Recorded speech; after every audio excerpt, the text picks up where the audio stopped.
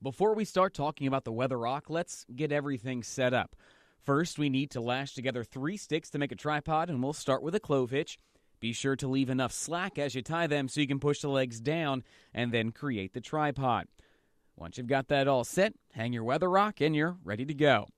Now we'll then need to observe the rock to see what type of weather we're seeing. Dealing with wind speeds, if the rock is slightly swaying, the winds are light and between 5 to 10 miles per hour. With a medium arc, the winds are up to 40 miles per hour, and if it's standing at 15 degrees to one side, we've got gale force winds. But if it's at 90 degrees to one side, head to the cellar, there's a tornado in the area. Now, really looking at the rock, if the rock is cool, dry, and easy to see, it's an overcast day. If it's warm, dry, and easy to see, we're seeing some clear and fair conditions. Now, if it's wet on top, you might be seeing a few light sprinkles, but if it's dripping water, we're seeing some heavy showers. And if it's cold, white, and hard to see, it's snowing.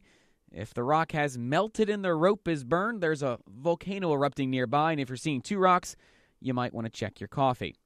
Now, you can also listen to the rock, and if it's making noise, it may be haunted or or you may be haunted.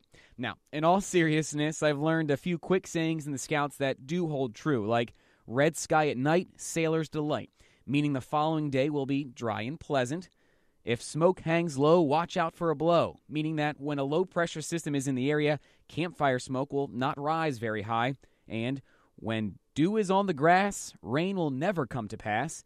And that's because dew usually forms on clear and cool nights, meaning that sunshine is ahead for the day.